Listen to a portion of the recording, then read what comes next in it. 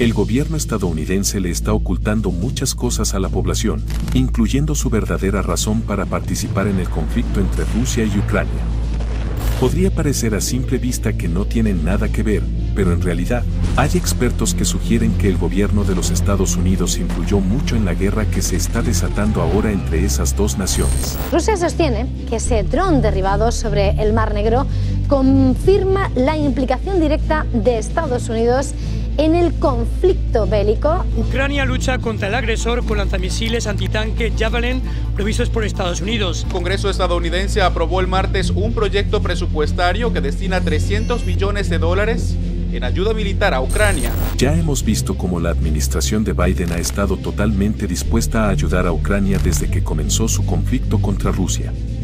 Sin embargo, a medida que fue pasando el tiempo, la gente empezó a cuestionarse, ¿Cuál es el verdadero papel que juega el gobierno estadounidense en medio de esa guerra entre ambas naciones? La Casa Blanca, Estados Unidos, es el mayor aliado de Ucrania. En este año de guerra le han estado enviando ayuda militar y económica. La Casa Blanca anunció el viernes un nuevo paquete de ayuda militar por un valor de 3.750 millones de dólares. Son cada vez más las personas que están hablando acerca del gran engaño de Estados Unidos, y esas mismas personas ahora quieren saber cuál es la verdad detrás de estas intervenciones de Biden. Es por eso que se han hecho preguntas como, ¿por qué Biden está tan obsesionado con ayudar a Zelensky? ¿Cuál es el papel del gobierno estadounidense en medio de este conflicto? ¿Por qué se dice que Estados Unidos está engañando al mundo? La administración de Biden quiere mantener engañado al pueblo, pero con cada día que pasa, se logran destapar más de sus secretos. En este video, vamos a estar hablando de algunas de esas cosas que fueron descubiertas, para entender por qué Estados Unidos podría estar entrando en una situación peligrosa. Ahora, antes de comenzar te tengo una pregunta. ¿Te gustaría que te metieran a la cárcel sin pruebas de que cometiste el delito? Obviamente, a nadie nos gustaría eso, pero sucede mucho. Hay mucha gente que declara deliberadamente que Estados Unidos fue el que hizo la guerra en Ucrania, y básicamente creen que Estados Unidos es el que hace todo lo malo en el mundo, pero sin pruebas, no se puede culpar a nadie. Es normal que si odias a un país, lo quieras culpar de todo lo malo que sucede, todos lo hacemos. Por ejemplo, cuando alguien odia a su suegra, es fácil echarle la culpa por todas las desgracias del matrimonio, pero la realidad es otra, no se puede culpar a nadie sin pruebas. En el caso de Estados Unidos, hay países enteros que odian a Estados Unidos hasta la muerte. Los motivos son mayormente la envidia, seguidos por la propaganda de sus mismos gobiernos, pero muy pocos pueden probar que Estados Unidos les ha hecho daño. No estamos aquí para defender a Estados Unidos, simplemente para explicar que no podemos juzgar a nadie sin pruebas.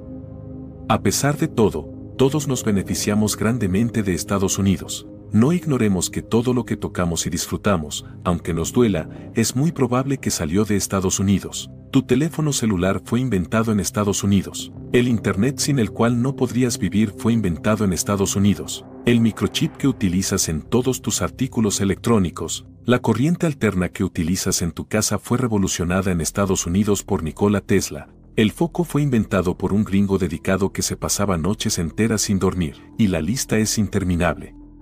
Aún el YouTube que tanto te ha ayudado para aprender y entretenerte, fue inventado en Estados Unidos, Facebook, Instagram, el buscador Google, etc. Así que veamos esta información con ojos objetivos, sin prejuicios, sin odio, y con las pruebas. Hace un año que inició la invasión de Rusia a Ucrania, un suceso que se ha convertido en uno de los conflictos más fuertes de la época actual. Desde ese entonces, muchos medios de comunicación llegaron a señalar a Rusia como el malo de esta historia, aunque eso no es algo nuevo. En realidad, los acontecimientos que llevaron a que Rusia quedase casi aislada del mundo, se remontan a unos cuantos años atrás. Resulta que Estados Unidos ya estaba poniendo en marcha su plan, para dejar mal a Putin enfrente de todo el mundo. Tuvieron éxito gracias a una campaña de propaganda que inició a mediados del 2016. En aquel entonces, Wikileaks, una organización dedicada a difundir documentos secretos, había filtrado miles de correos electrónicos obtenidos de los servidores del Comité Nacional Demócrata. Estos correos no favorecían en absoluto al Partido Demócrata, ya que poseían evidencia de que los funcionarios del partido habían manipulado el proceso electoral. Al parecer, habían buscado darle más ventaja a Hillary Clinton, al mismo tiempo que ponían en desventaja al candidato Bernie Sanders. Sigues aquí, nos haces un favorcito, ayúdanos a correr este video hasta el final para apoyar este canal, ¿nos ayudas? El impacto de este escándalo fue tan grande que ya estaba amenazando con dividir al Partido Demócrata. Más de 13 millones de partidarios de Bernie Sanders, incluidos muchos jóvenes, descubrieron que el proceso electoral en el que siempre habían confiado fue un fraude. Ante esta enorme crisis, a los líderes demócratas solo se les ocurrió la idea de echarle la culpa a otra persona, para tratar de limpiar su imagen. Fue por eso que saldrían a afirmar que los servidores del partido habían sido hackeados por el ejército ruso, con la intención de dañar la imagen de Hillary Clinton y favorecer a la de Trump. Según esta narrativa, querían favorecer la imagen de Trump, porque supuestamente era más fácil de manipular por parte de los rusos. El Washington Post lo informó como un hecho desde el primer día, pero nunca hubo ninguna evidencia concreta para respaldar las acusaciones. E incluso ahora, tras más de seis años desde que ocurrió ese suceso, sigue sin existir evidencia que demuestre que lo expresado por el Comité Nacional Demócrata era cierto. Es casi seguro decir que fue algo inventado por ellos, y de ser realmente así, sería una táctica política que pudo ejecutarse sin problemas. Independientemente de su veracidad, fue a raíz de estas acusaciones que Rusia sería señalado como uno de los villanos principales de Estados Unidos. Después de todo, Rusia se caracteriza por ser una nación con una estructura social tradicional que se oponía a los valores del Partido Demócrata. Esa narrativa hizo que la política exterior de Washington en contra de Rusia se reavivara una vez más, tras casi cuatro décadas de haber permanecido inactiva. El engaño de la culpa de Rusia sirvió para dos cosas que fueron obstaculizar la administración de Trump y proporcionar una excusa para expandir el estado de seguridad nacional. A medida que pasó el tiempo, el discurso anti-Rusia se volvía más fuerte, y eso trajo consigo un clima de histeria y preocupación. Llegó un momento en el que cualquier persona que tuviese un punto de vista contrario al discurso popular, era acusada de trabajar para Putin, sin importar si eran personas de izquierda o de derecha. Fue casi una especie de cacería de brujas que nunca ha terminado de llegar a su fin. Siguieron sosteniendo ese mismo discurso, incluso cuando China se estaba volviendo una amenaza aún más grande que Rusia. El discurso anti-Rusia ya había dominado la política exterior de los Estados Unidos, lo que puso al país en una situación bastante peligrosa para las futuras generaciones. Verás, si China y Rusia se juntaban, iban a poder derrotar a Estados Unidos sin ningún problema. Eso es algo de lo que muchos presidentes estaban conscientes, incluyendo Donald Trump. De hecho, Hubo un momento en el que mencionó lo problemático que sería si Rusia se volviese aliado de China en el futuro. La combinación de recursos naturales, fuerza militar y poder económico, harían que la alianza entre Rusia y China se transforme en la fuerza más poderosa del mundo, siendo capaz de destruir a Estados Unidos. Por eso, Trump había discutido que no sería conveniente hacer que Rusia fuese un enemigo de los Estados Unidos. Sin embargo, los funcionarios en Washington ignoraron sus advertencias y calificaron a Trump de ser un títere de Putin. Luego de eso, comenzaron a provocar una guerra contra Rusia, cosa que finalmente lograron hacer. Y ahora que está en marcha todo el conflicto entre Ucrania y Rusia, la gente se ha dado cuenta de que Trump tenía razón.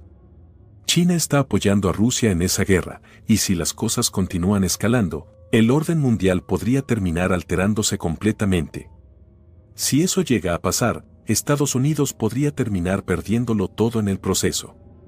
Dicho de otra forma, si las cosas continúan tal y como están, Estados Unidos dejará de ser la poderosa potencia que es ahora. A pesar de la gravedad de la situación, muy pocas personas parecen estar realmente preocupadas por lo que pueda pasar. Esto es porque los políticos y los medios de comunicación se han esforzado para mantener la verdad oculta. De hecho, grandes empresas de tecnología como Google y Facebook se han asociado con la administración de Biden para promover la difusión de noticias falsas acerca de Ucrania y Rusia. También se han encargado de censurar cualquier información objetiva que esté contradiciendo la narrativa oficial. Ahora bien, al principio, Biden se había limitado únicamente a imponer sanciones a Rusia, alegando que su ejército había sido el primero en lanzar un ataque contra Ucrania sin ninguna clase de justificación. Esta era una medida que parecía bastante razonable para frenar el conflicto, e incluso pareció tener efectos al inicio. Pero como bien ya sabemos, eso no fue suficiente para detener la guerra.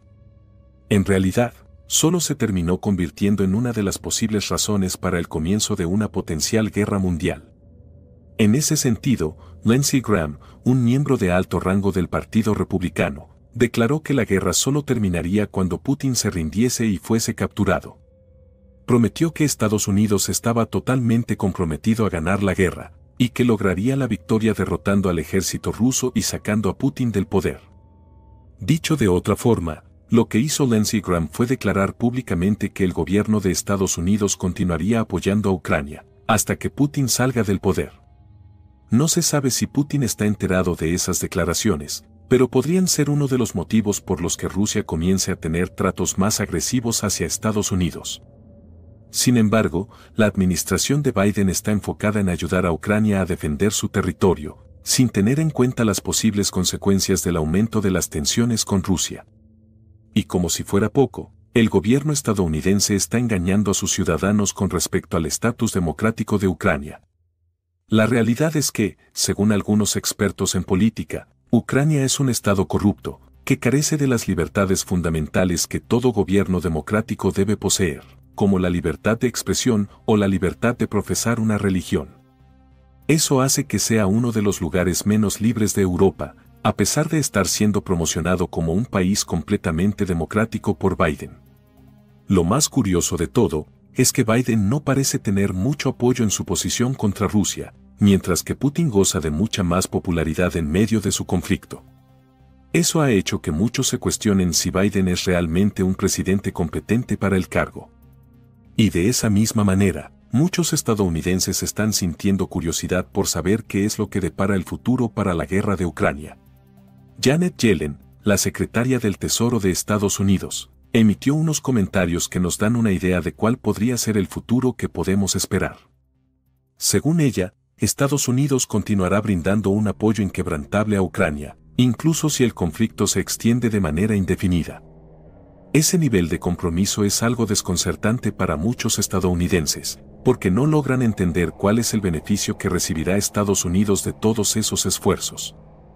Es obvio que el enfoque del gobierno estadounidense sobre la situación en Ucrania es muy diferente al de la mayoría de los estadounidenses, pero las razones de esta desconexión siguen sin estar claras. En medio de todo esto ha salido Tom Nichols, quien es un escritor estadounidense que está especializado en asuntos internacionales. Es una figura bastante respetada en Washington por todo el trabajo que ha realizado. Lo que ocurre con Nichols es que publicó un artículo para The Atlantic Magazine, donde habló sobre el posible propósito de la guerra. Según sus palabras, la guerra fue el inicio de un esfuerzo a largo plazo para derrotar a los ejércitos de Moscú, y así poder reconstruir un mundo mejor. Es cierto que es una figura bastante admirada en Washington, pero muchos quedaron desconcertados con lo que dijo. Hay quienes incluso llegaron a decir, que Nichols no ha logrado otra cosa que no sea discutir con otras personas a través de Twitter. Parece que el público general quiere ver algo que tenga un poco más estructura y objetividad, y no simplemente opiniones que carecen de fundamentos sólidos. Sin embargo, el autor también ha hecho algunas críticas que han sido aceptadas a nivel general. Por ejemplo, criticó el hecho de que Washington esté planeando alcanzar objetivos tan ambiciosos, como la liberación de Rusia y Ucrania, cuando ni siquiera han podido abordar los problemas de su propio país. Asimismo, señaló que los intentos anteriores de reconstruir a otros países, como Irak y Libia, terminaron en desastres espantosos. Este autor concluye que, antes de intentar reconstruir al mundo, la administración de Biden debería centrarse en solucionar los problemas de su propio país, y demostrar el éxito en iniciativas de menor escala. Es necesario que el gobierno de los Estados Unidos comience a reflexionar sobre los errores que llegó a cometer en el pasado, para no volver a repetirlos en el presente. Desafortunadamente, Estados Unidos parece estar en medio de una epidemia de arrogancia, la cual se ha cobrado más vidas de las que uno se podría imaginar. Y hablando de situaciones catastróficas, habría que tomar en cuenta la opinión de Douglas McGregor, un coronel retirado del ejército estadounidense. Comentó en una entrevista que la estrategia de Washington de librar dos guerras al mismo tiempo no iba a traer nada bueno. Según él, cada acción tomada por la administración de Biden ha traído resultados catastróficos. Añadió que el mundo se está desdolarizando actualmente y que las economías de Europa se están estancando, todo mientras que Rusia sigue creciendo a un ritmo bastante acelerado. También comparó los déficits presupuestarios de Estados Unidos y Rusia, destacando que el de Estados Unidos era el peor. Además de todo eso, hay que tomar en cuenta que las Fuerzas Armadas de Ucrania se encuentran en una crisis de reclutas, así que ahora están reclutando a todo tipo de personas para trabajar en el ejército, incluyendo ancianos, mujeres y hasta niños. Es seguro decir que sin el personal militar de la OTAN apoyando a Ucrania, las Fuerzas Armadas ucranianas ya se habrían derrumbado desde hace tiempo. Algo interesante con respecto a este punto, es que MacGregor reveló que la OTAN ahora se está enfrentando a una división importante, ya que Turquía está mostrando su disposición a abandonar la alianza. Parece ser que este país está alineándose con naciones como China y Rusia. Asimismo, MacGregor señaló que es posible que Alemania termine retirándose de la OTAN muy pronto, si el conflicto entre Rusia y Ucrania no termina. En definitiva, es una situación bastante delicada en la que Estados Unidos podría terminar perdiendo. Rusia tiene uno de los cuerpos militares más grandes de todo el mundo, contando con el mayor arsenal de artillería, municiones, cohetes y drones. Es solo cuestión de tiempo antes de que lancen un ataque final que concluya la guerra con una victoria para ellos. Lo peor de todo el asunto es que muchos no saben lo que realmente está ocurriendo a nivel global. Los medios de comunicación no están cubriendo todos los acontecimientos de forma objetiva, haciendo que muchos estadounidenses desconozcan acerca del tema. Lo único que nos queda esperar es que la administración de Biden comience a tomar las decisiones correctas para detener este conflicto antes de que escale más y termine siendo demasiado tarde. Te felicito por llegar al final de este video, eres genial, aquí está otro video que nos encantaría que vieras. Espero que te haya gustado muchísimo. Que no se te olvide ir a la descripción de este video, donde tenemos recursos importantísimos para que compres tu casa, repares tu crédito, y elimines tu deuda hasta un 50%. Además, si quieres invertir en bienes raíces, también tenemos todos los recursos que necesitas para iniciar. Gracias y un saludo muy grande.